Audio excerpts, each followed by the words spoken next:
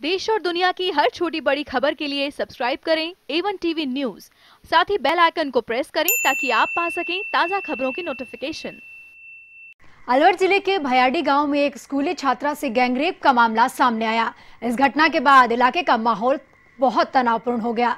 तो वहीं घटना की सूचना पाकर बसपा प्रत्याशी जगत सिंह बड़ौदा मेव थाने पहुँचे और 24 घंटे में आरोपियों की गिरफ्तारी नहीं होने पर धरना देने की चेतावनी दी।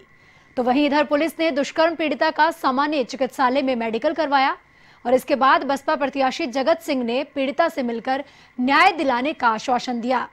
अस्पताल में मीडिया से रूबरू हुए जगत सिंह ने कहा कि रेप के मामले में पुलिस ने आरोपियों के खिलाफ कार्यवाही नहीं की तो वे खुद कोई सख्त कदम उठाएँगे।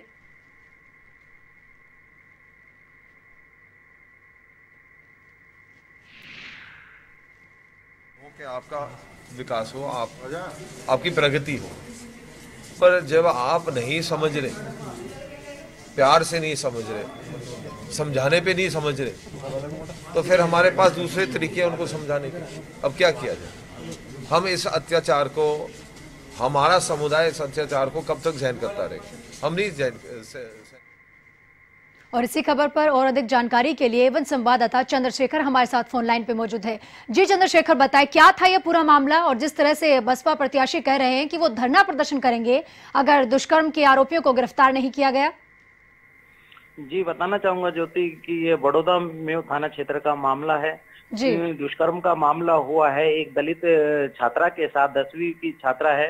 पुलिस में हालाँकि मामला भी दर्ज किया है और दो आरोपियों को गिरफ़्तार कर लिया है इस मामले में। जी। लेकिन 28 जनवरी को यहाँ पर विधानसभा चुनाव होने जा रहे हैं काउंटिंग होगी उससे पहले जो राजनीति यहाँ की है ये इस केस पर आकर निर्भर हो चुकी है। बहुजन समाज पार्टी के प्रत्याशी ने पुलिस प्रशासन को और सरकार को चेतावनी दी है। अगर चौबीस घंटे के अंदर एक जो मुख्य आरोपी है वो अरेस्ट नहीं होता है तो आरोपियों के घरों को आग लगा देंगे और इस तरह का जो बयानबाजी दी जा रही है, उससे जो राजनीतिक माहौल है रामगढ़ का, इन दिनों जी चंद्रशेखर, स्कूली छात्रा से दुष्कर्म के मामले में पुलिस क्या उचित कार्यवाही नहीं कर रही?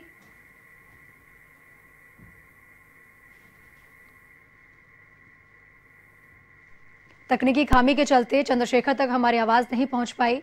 लेकिन आपको बता दें, इस इलाके में तनावपूर्ण माहौल बना हुआ है और लगातार आरोपियों को गिरफ़्तार करने की मांग चल रही है।